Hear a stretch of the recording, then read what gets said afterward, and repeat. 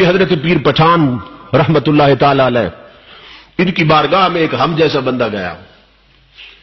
کہ سنا ہے، بڑی شہرت ہے، اللہ کا ولی ہے، چلو زیارت کرتے ہیں، کوئی نصیحت پوچھیں گے، کوئی نصیحت کرے ہمیں۔ جب وہاں گیا، تو آپ بیٹھے تھے، ملاقات ہوئی، تو کہنے لگا، حضرت کوئی نصیحت فرما دے۔ آپ ہنس پڑے، فرمائے، بیٹا، دو باتیں فقیر کی یاد رکھنا۔ اگر رب کو خود سے بہتر نہ سمجھ سکو نا، اب نصیحت سن۔ ولیوں کے کیا انداز؟ فرمایا، میرے بیٹا، تو نے کہا نصیحت کرے، تو فقیروں کی نصیحتیں تو ایسی ہوتی ہیں۔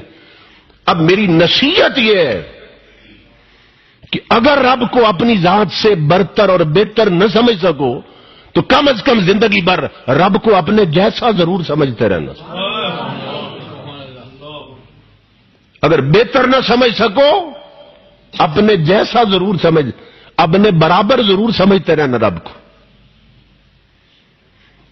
وہ دل میں نا بڑا کڑنے لگا، کہنے لگا، کہتے بڑا، بہت بڑا اللہ کا ولی ہے، یہ بھی کوئی بات تھی کرنے کی۔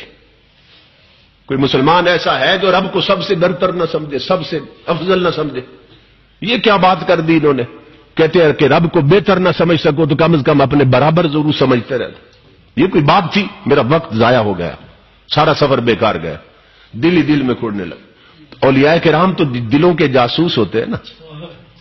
معلوم ہوتا ہے کیا سوچ رہا ہے۔ ہنس پڑے فرمائے بیٹا، یہ نصیحت نہ پلے باندھ لینا میری جو میں نے کی ہے۔ وہ اٹھ کے جانے لگا حضرت اجازت دے۔ آپ نے فرمایا، ایسا کرو، اب شام کا وقت ہے، لمبا سفر ہے، رات یہیں گزار لو، صبح چلے جانا۔ ناشتہ کر کے نا صبح چلے جانا۔ وہ رک گیا۔ شام کا وقت تھا، اس نے رات گزاری۔ صبح سویرے وہ بیٹھا تھا اپنے کمرے میں نماز کے بعد۔ تو نا، جو ناشتہ تھا نا، اس کے کمرے میں پہنچایا گیا۔ وہ جو ٹرے تھا ناشتے کا، اس میں ایک طرف مرغ روسٹ پڑا تھا، مکھن تھا، شہد تھا، پراٹھے پڑے تھے، تازہ ہرش ہے۔ اس کے ساتھ ہی نا، رات کی باسی دال پڑی تھی لنگر کی، اور خشک روٹی بھی پڑی تھی۔ دو تین دن پرانی روٹی، وہ بھی ساتھ اسی ٹرے میں پڑی تھی۔ اس کے سامنے رکھ کے نا خادم آ گیا۔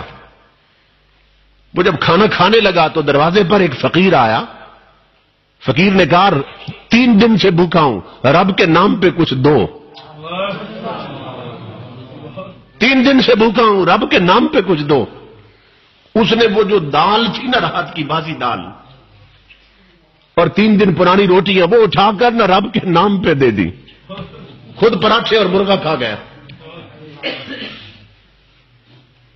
ختم کر کے کہنے لگا آپ جانے کا وقت آ گیا، آخری بار میں ذرا ہاتھ ملا ہوں پیر صاحب سے۔ جب وہاں گیا نا پیر پٹھان بیٹھے تھے۔ کہنے لگا، حضرت اب اجازت، آپ نے فرمایا، بیٹا اجازت، ہاتھ ملایا، ہاتھ پکڑ لیا آپ نے۔ آپ نے فرمایا، بیٹا، رات والی میری وسیعت یاد ہے۔ جو نصیحت کی تھی۔ کہ رب کو اپنے سے بہتر نہ سمجھو نا تو اپنے برابر ضرور سمجھتے رہنا۔ اب وہ پھوٹ پڑا، کہنے لگا، حضرت، یہ کیا بات کرتے ہیں آپ بات؟ یہ کوئی عقل کی بات ہے جو آپ کر رہے ہیں؟ کون بندہ ہے، کون ایماندار جو رب کو سب سے بہتر نہ سمجھے؟ اور آپ بار بار مجھے یہ کہتے ہیں۔ کیا مقصد ہے آپ؟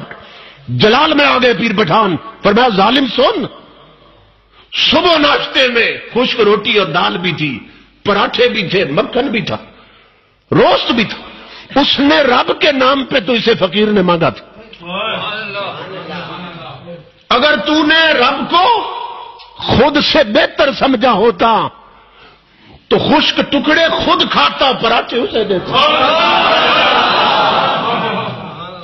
دال خود کھاتا، مرغا اسے دے دیتا۔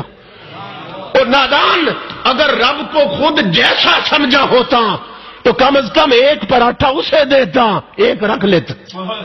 ایک باسی روٹی اسے دیتا، ایک رکھ لیتا۔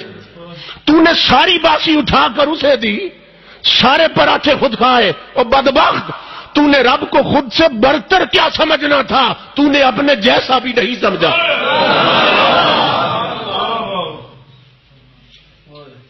جو بات سمجھ آئی یہ صرف اس کا کیس نہیں تھا، ہمارا کیس بھی ہے۔ ہم سب کا یہی معاملہ ہے۔ ہم نے رب کو سب سے برتر تو کیا؟ اپنے جیسا بھی کبھی نہیں سمجھا۔ رب کے نام پہ ہم سے بھوکا مانگتا ہے۔ تو وہ جو بیکار شے کھانے کی ہے نا گھر میں، وہ اٹھا کے دیتے ہیں۔ رب کے نام پہ فقیر پیسہ مانگتا ہے۔ پرس اور بچوا نکالتے، جو سب سے پرانا نوٹ ہے وہ رب کے نام پہ دیتے ہیں۔ ننگا آتا ہے، دروازے پر صدا لگاتا ہے۔ رب کے نام پہ دو۔ تو گھر میں جو سب سے پرانا سوٹ ہے، وہ رب کے نام پہ دیتے ہیں۔ اور قرآن کیا کہتا ہے؟ لن تنال البر حتہ تنفقو مما تو کہ تم تب تک نیکی پا نہیں سکتے جب تک اپنی پسند کی شے یار کے راستے میں نہ لٹاؤ۔ یہ آیت ہے قرآن کی۔ تم سمجھتے ہو دے کر نیکی کر لی، نہیں، نیکی پا ہی نہیں سکتے تم۔ جب تک اپنی پیاری شہر اب کے راستے میں نہ لٹاؤ۔